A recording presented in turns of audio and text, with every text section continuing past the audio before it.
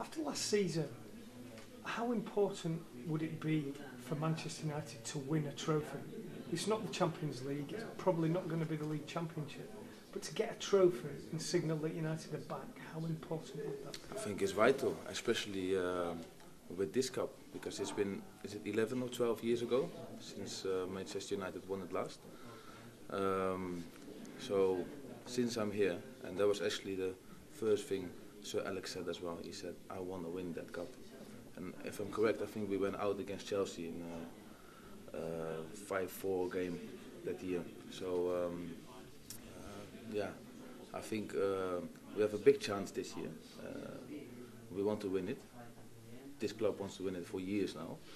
Uh, but yeah, we have a big chance. But again, we have to sort of look at the first game only because uh, that is next week against Cambridge.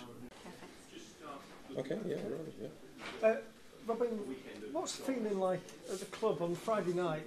I guess a lot of people were very, very disappointed about the performance. By Saturday tea time, no Chelsea, no Man City. It looked like a good result.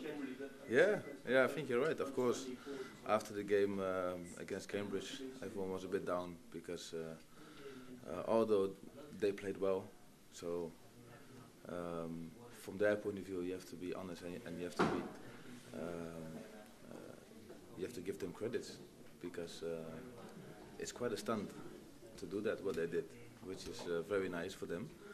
Um, but in a way, I think, um, like you said, especially at uh, tea time Saturday, uh, the whole mood changed because City went out, Chelsea went out, and suddenly uh, we are in it with a home tie against Cambridge, and uh, the so-called big teams, big clubs. Um, how it is now, it's just us, um, Arsenal, uh, Liverpool, West Ham, Premier League sides. But from all these teams, we are highest in the league.